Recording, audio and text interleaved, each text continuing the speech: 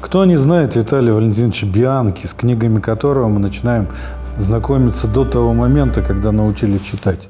Наши мамы, папы с удовольствием нам читали книги о зверях и птицах, и мы формировали свое представление об окружающем пространстве о лесе. Но мало кто знает, что Виталий Валентинович Бианки э, некоторым образом связан с нашим благословенным краем. Почти четыре года он проживал в славном городе Бийске и был одним из создателей Бийского краеведческого музея, первого народного музея Сибири. А происходило это следующим образом. Казалось бы, молодому человеку, рожденному в конце XIX века судьба выписала блестящий сценарий. Он родился с золотой ложечкой во рту, как говорят некоторые современники. Почему? Потому что папа у него был директор зоологического музея. С детских лет за руку его и двух старших братьев он выводил на природу, рассказывал о птичках, о насекомых, о деревьях и погружал в это пространство с огромным удовольствием. Но так получилось, что вместо карьеры блестящего естествоиспытателя, ученого Виталий Бианки попал в некий коловорот исторических событий, в ту знаменитую эпоху, которая началась с Первой мировой войны, с русско-японской войны и перешла в революцию. Незадолго до двух революций он поступил в военное училище, получил специальность артиллериста, отправился на фронт, его распределили в Царское село, чтобы он охранял э, самых главных особ Российской империи. Но через короткое время случилась февральская революция, октябрьская революция или переворот, кому как угодно, и его судьба кардинально изменилась. И потом, создавая некую биографию Виталия Бианки, мы сталкиваемся с тем, что нет какого-то абсолютно аутентичного канонического источника, по которому мы эту биографию могли бы расписать. Известный алтайский краевед Василий Федорович Гришаев потратил преизрядное количество времени для того, чтобы сформировать биографию Виталия Бянки, э, поднял многочисленные архивы, поднял архивы НКВД, допросы этого человека и собрал некий образ. И вот из одной из публикаций Василия Федоровича Гришаева я привожу цитату с э, протокола допроса НКВД, на который отвечал сам Виталий Бианки. В феврале 1917 года участвовал в свержении царской власти, избран своей частью в Совет солдатских и рабочих депутатов, в то же время под влиянием друга поступил в партию эсеров, моя часть была отправлена на Волгу. Летом 1918 года работал в Самаре в газете «Народ». В это время я поколебался в правильности тактики партии эсеров и с этого момента никакого участия в ее работе не принимал, хотя и продолжал жить жить при Камуче, белогвардейском эсеровском органе власти, организованном для захвата Среднего Поволжья белочехами. С членами Камуча попал сначала в Уфу, потом в Екатеринбург. Там э, члены Камуча были арестованы колчаковцами. Меня случайно в это время в гостинице не было, но была моя семья.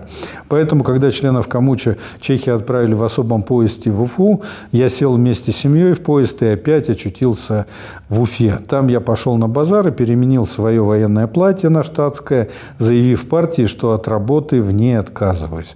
Уехал с семьей в Томск, а оттуда в Бийск. 1918 году Виталий Бианки оказался в Бийске, и так же, как некоторое время до этого в этом славном городе был другой писатель, автор Цусима Алексей Нилович Новиков-Прибой, э, находился в Бийске довольно комфортно. Вот если верить Прибою, то есть замечательная цитата о том, как в 18 году в Бийске было сытно, молочно и медово, так он характеризовал этот э, купеческий город. Вот нечто подобное ощутил Бианки. Но когда он в 18 году оказался в этом городе. В 19 году Бийск был э, под властью Колчака, прошла мобилизация, и он вынужден был скрываться от мобилизации, переменил фамилию, которая практически большую часть жизни существовала в его э, паспорте итальянская Бианки, он сменил на Белянин, и в Бийске он больше был знакомен как э, Виталий Белянин. Но, тем не менее, мобилизации избежать не удалось. Он скрыл от того, что он прапорщик, что он артиллерист. И обычным солдатиком был снова мобилизован, отправлен в город Барнаул, где служил писарем. Через некоторое время их часть перебросили в э, другие территории, уже непосредственно фронт. И тогда Бианки второй раз исчез из э, зоны внимания власти и фактически дезертировал, подбил с собой несколько солдат и вернулся к семье в славный город Бийск. И там снова под этой фамилией, некоторое время скрываясь, некоторое время проживая в деревне под Бийском, он вынужден был дожидаться прихода советской власти. Когда пришла советская власть, он объявился и начал ту культурную деятельность, благодаря которому мы считаем Бианки неким гением места. Во-первых, он стал собирать многочисленные коллекции флоры и фауны и постепенно формировать некую музейную экспозицию. Вместе с другими участниками он создал э, первые экспозиции Бийского народного музея, так он назывался в то время, 14 апреля 1920 года Бийский краеведческий музей начал свое существование.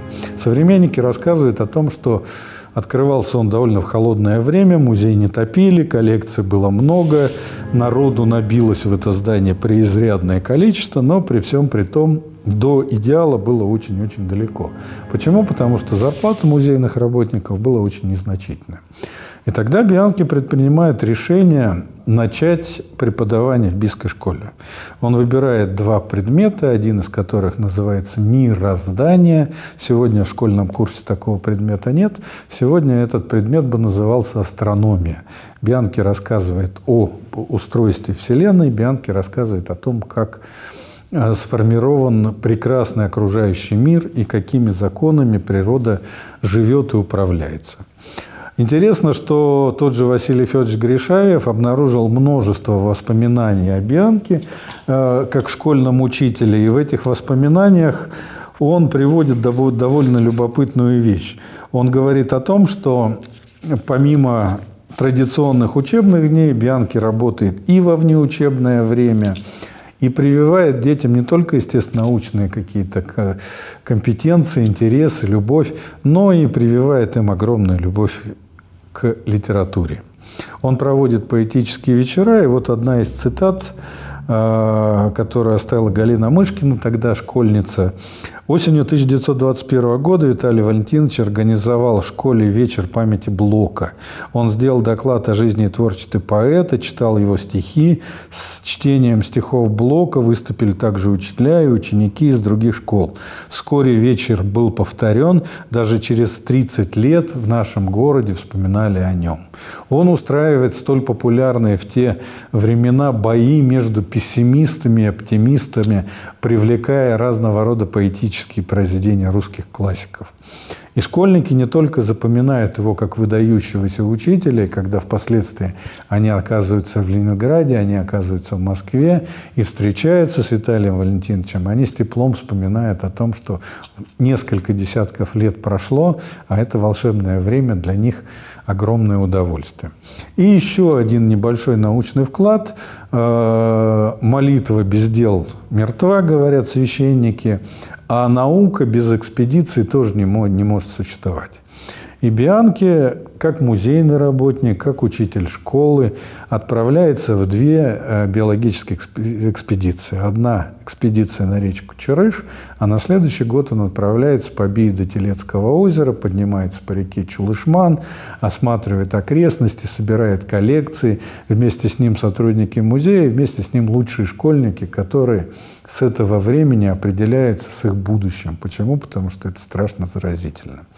И вот на основании собранных экспедиционных коллекций Бианки формирует огромный банк знаний о том, что растет на Алтае, какие бабочки летают, какие птицы поют свои волшебные песни.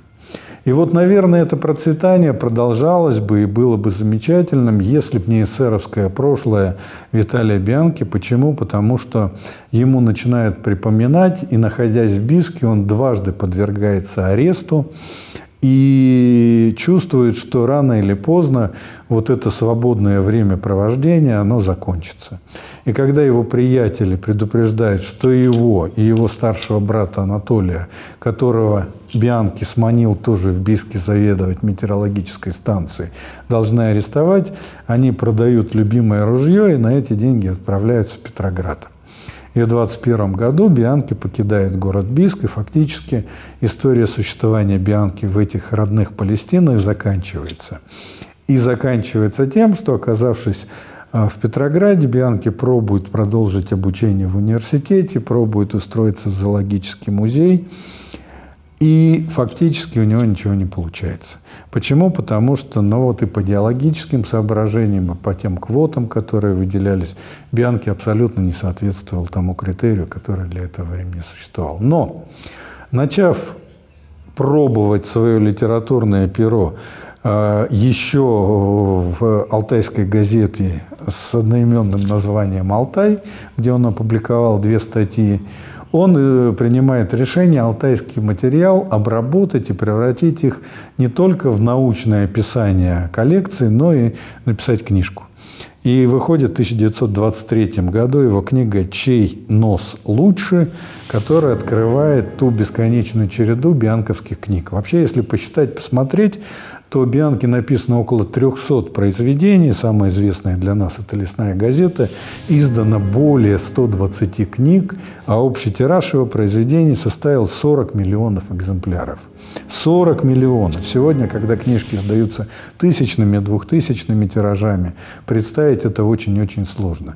Но несмотря на популярность, несмотря на то, что он приятельствовал с Самуил Яковлевичем Маршаком, общался с Корнеем Ивановичем Чуковским, Максим Горький к нему был абсолютно неравнодушен и в определенное время оказывал ему поддержку. Бианки снова арестовывают, Бианки снова относят к человеку, который из другого класса, и в конце концов э, ему назначают трехлетнее заключение, которое благодаря усилиям Максима Горького заменяется ссылкой, и некоторое время он живет за 101 километром, как ограничение для ссыльных существовало в, то, в те времена. Но активно продолжает писать, издавать свои книги и становится любимым автором не только детей, но и взрослых. Интересно, что алтайский текст оставил свой след, и алтайское влияние оставило свой след. Почему? Потому что современные литературоведы, будь то Александр Иванович Куляпин, будь то Татьяна Александровна Богумил, говорят о том, что есть несколько произведений, которые созданы на алтайском материале. Эти произведения «Последний выстрел», «Роковой зверь», «Бун», «Кувырк» и «Она». Три рассказа и одна небольшая повесть, и все они э, могут быть отнесены к жанрово к охотничьей прозе. Я вас уверяю, что если вы найдете э, роковой зверь о том, как охотник убил 39 медведей, а если ты убьешь 40 медведя, это плохая примета, и ты погибнешь. И вот что происходит с ним, когда он на тропе встречается с этим злополучным 40 медведем. Или рассказ «Последний выстрел» о том, как у профессиональных охотников э, крадут их любимую лайку, которая работает за многих. И вот что сделать в тот момент, когда злодеи на лодке увозят твою лайку, что нужно сделать, интригу сохраняя, она замечательная. То же самое касается и других произведений. Вот эти алтайские тексты, они совершенно замечательны. И завершить мне бы хотелось очень приятными словами, которые Виталий Бианки оставил э, за год до своей смерти. Ему написал мобилизованный военный со словами «Виталий Валентинович, вы посмотрели много локаций, вы знаете много пространств Советского Союза, куда мне после службы отправиться для жительства, чтобы мне было очень-очень хорошо». На это письмо Бианки ответил так. «Не зная вас, могу только в нескольких словах рассказать, какой уголок нашей страны больше всего понравился и пришелся мне по душе. Это Алтай. В жизни не видел ничего более прекрасного. Я жил там в юности 4 года и до сих пор, а мне седьмой десяток, вспоминаю это время как чудный сон. Я бы выбрал Алтай. Но, может быть, мы разные любим, и мое мнение вам будет неинтересно. Вот такая цитата, несмотря на то, что почти 70 лет жизни, а Алтай остался главным светлым пятном у Бианки. И мы, благодарные жители этого региона, отвечаем его взаимностью, потому что библиотеки, улицы, природные ландшафты называются именем Виталия Валентиновича Бианки. И Алтай помнит о нем, а главный Бийский краеведческий музей носит его имя. thank you